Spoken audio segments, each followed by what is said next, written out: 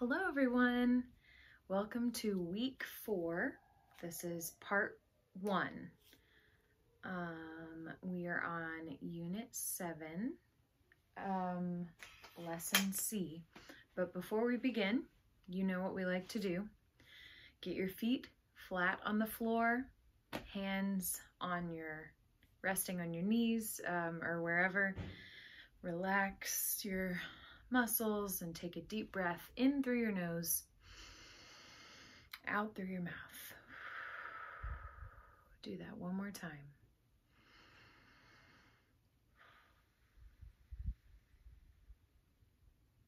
Okay, now we're ready to learn. So, um, if you will go ahead and open your books, we're going to be on lesson C in Unit 7, but before we go there, let's go to page 84 to look at those pictures again.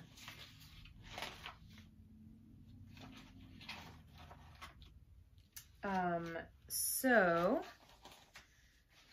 my question for you is, which person is Rosa?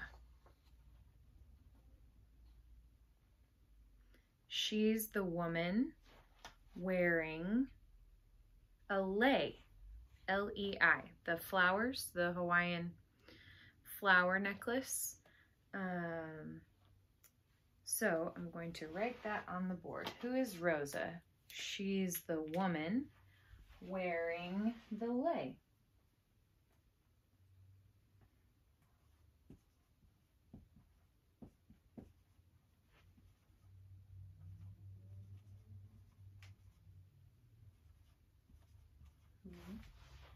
She's the woman who is wearing a lei. I am not sure why she's wearing a lei. Uh, maybe she was at a party, a luau. Um, we don't know, but alas, she is wearing a lei.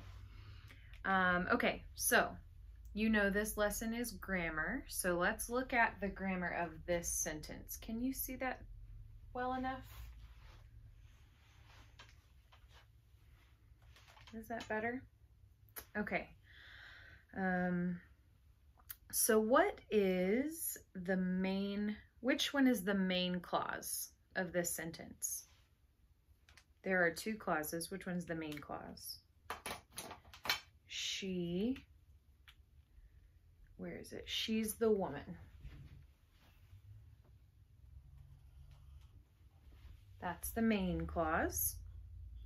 And which is the dependent clause? That would be who is wearing a lei. Uh-oh. Oh no my blue marker. Okay. I guess we'll do, I guess we'll do red. Uh, no. We will do, all right, the one in brackets. You know what, that's a little confusing. Ouch.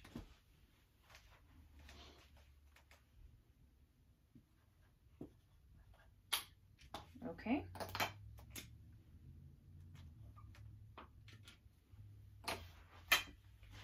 She's the woman who is wearing a lei. Excuse me just a moment.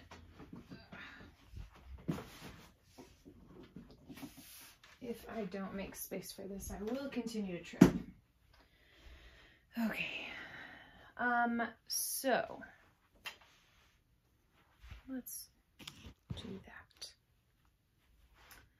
She's the woman who is wearing a lei. So the dependent clause. All right, now what is what word in the main clause is the adjective clause describing? So the adjective clause, who is wearing a lei, which word in this clause is being described here? Woman, right?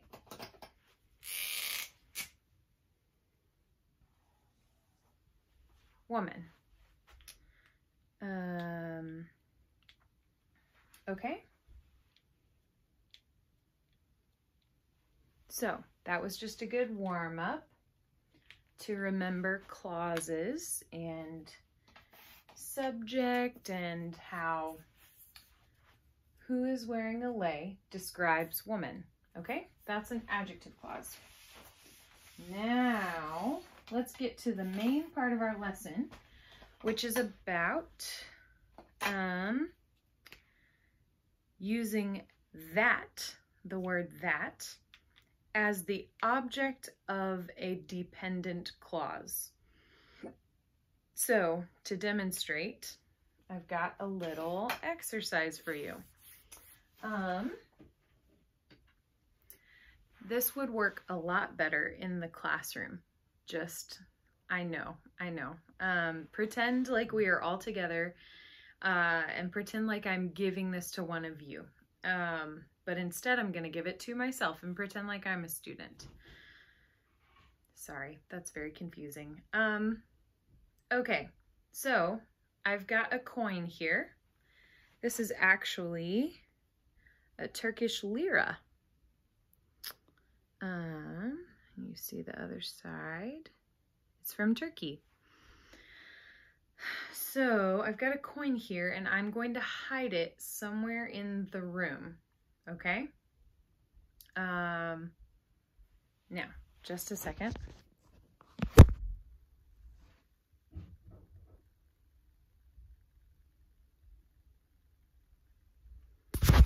Okay, now tell me, where do you think it is?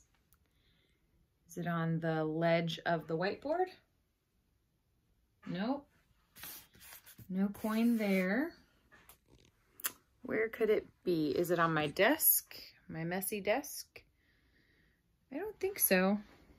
I've got several other things, but no. Is it in the coffee cup? Someone said it might be in the coffee cup. Let's check. Nope, no coin. Um, is it on the stack of books where I record? I don't think so. Um, oh wait. What is this? In my hair? Wow, it was in my hair. um, crazy. Okay, so now let's write a sentence about that. Um, so the question is, where's the coin that Kelsey got? The coin that Kelsey got was in her hair.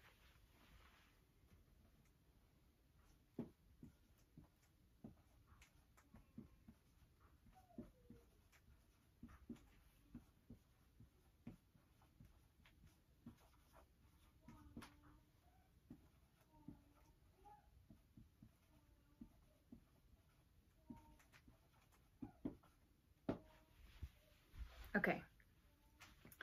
So the coin Kelsey got was in her hair. So what's the subject of, I'm sorry, what is the, what is the main clause? Um,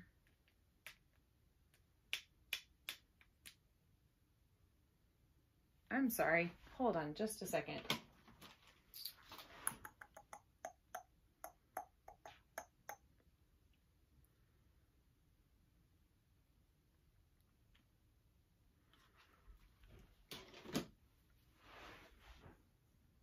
Okay. Sorry, this is a little confusing. Um, I confused myself. What is the subject of the dependent clause? Okay, it's a little tricky. What's the subject of the dependent clause? It's actually Kelsey. Okay. And what is the verb in the dependent clause? Got. Okay, that's the verb. So what does that refer to? That actually refers to the coin.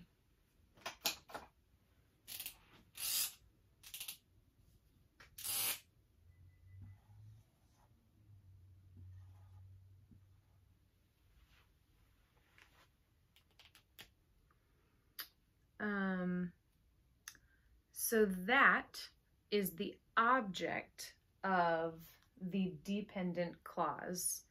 It is not the subject of the dependent clause. Um,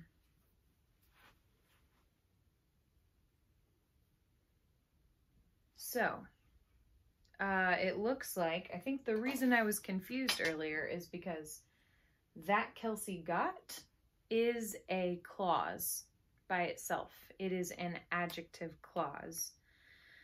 So, why do we use adjective clauses? Well, we use them to give more information about the word that they follow. So, we know more about the coin. Um, if you just said the coin was in her hair, um, okay, that's fine. But now we know the coin that Kelsey got. So we know that um, we know who her is. We know it was Kelsey's hair. Um, so that's a little bit more information about coin. Um, so we also use adjective clauses to describe, to identify, to make things more specific. Okay? So now let's do a little practice. Adjective clauses. I'm just going to read this for you, but it is also at the top of page 88. If you'll go ahead and turn to page 88. And I will read for you. Adjective clauses come after a noun and begin with a relative pronoun. That is an example of a relative pronoun. Use that with people or things. Okay, so you see the example here at the top of in the on the top of page 88 it says I like the car. You bought it. I like the car that you bought. Okay, so how did they how did they combine those? What happened? Um well, the first sentence, I like the car. In the second sentence, what does the word it refer to in the first sentence? It refers to car. So if you take it out of the picture and you combine them with the word that, um, then you you get the sentence, I like the car that you bought. Okay, let's try another one. Um, write this down. Also, I'm sorry, I forgot to mention, these are on the video if you have the ability to use the QR scanner um, and scan the little QR code and watch the video. If not, I can send the link in WhatsApp um, or email or something else. So just let me know. But um, I'm trying to do most of it for you here. So let's do another example. They're going, they're going to a new driving instructor.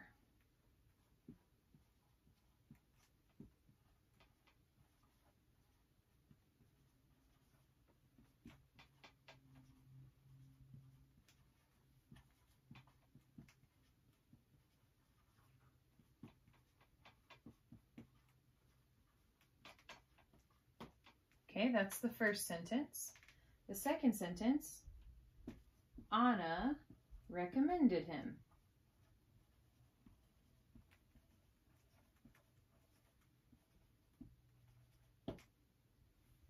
Okay. So, what do we do here? So first, you read the two sentences. They're going to a new driving instructor. Anna recommended him. In the second sentence, him replaces what from the first sentence? What is what does him refer to in the in the first sentence? refers to driving instructor. Okay, so him refers to driving instructor. Um, so now, if you take out him, and you combine the two sentences. Let's do it in green. How about that? They're going to a new driving instructor.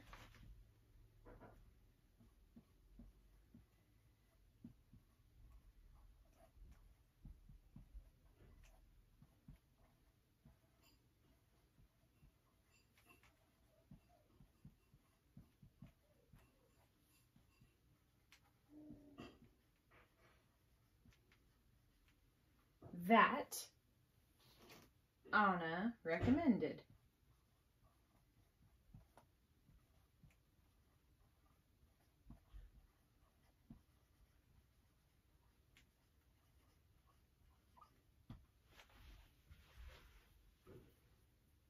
All right. Can you see that okay? How does that, how does that sound? Does that make sense? Um, I really would encourage you to try and watch the video on this one because this is a little bit confusing. But just for time's sake, let's go ahead and do a little bit of practice from the sentences on page 88. Um, I'll do one with you and then you will do the rest on your own. And in the next video, uh, we can go over the answers, or actually probably we won't do that. Probably you just take a picture and send me your answers um, in a private message, not in the group, and I can let you know if you got it right. Okay? Um, all right, so it says circle the object in the second sentence then combine the sentences by changing the second sentence into an adjective clause with that. Okay. So you already see the first sentence there. It says, a good friend needed a new car. I've known her for several years. So what's the very first thing they asked you to do? circle the object in the second sentence. So the object in the second sentence is her. So now you can take that second sentence and turn it into an adjective clause. Um, a good friend that I've known for several years needed a new car. So that one is an interesting example because they took the adjective clause and put it in the middle of the first sentence. Okay? Um, so just know that that is a possibility when you are creating a new sentence. Um, it doesn't have to always be first sentence and then adjective clause. Um, let's do number two together and then we will, then I'll let you do the rest on your own. All right, so number two, she used to drive an old car.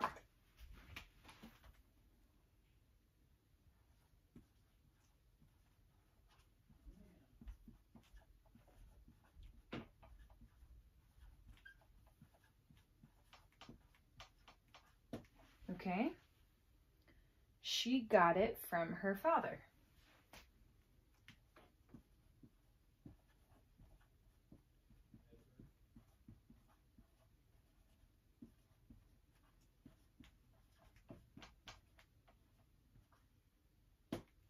Okay, so the first step is to circle the object in the second sentence. So what is the object there?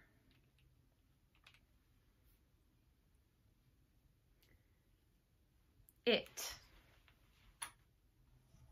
All right.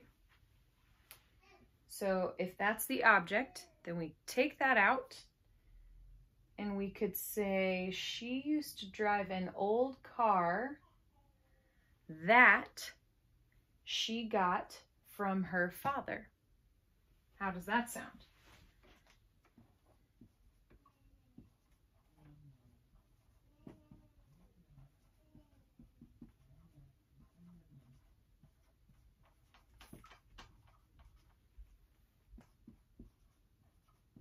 That she got from her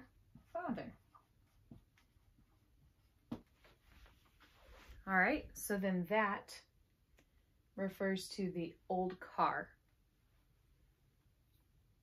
So we know more about the old car because of this adjective clause. Does that make sense? This is a little confusing, but I totally trust you guys. I think you will do great. And as always, if you have any questions, I'm always available email, text message, WhatsApp, phone call, anything. Just let me know, okay? Bye.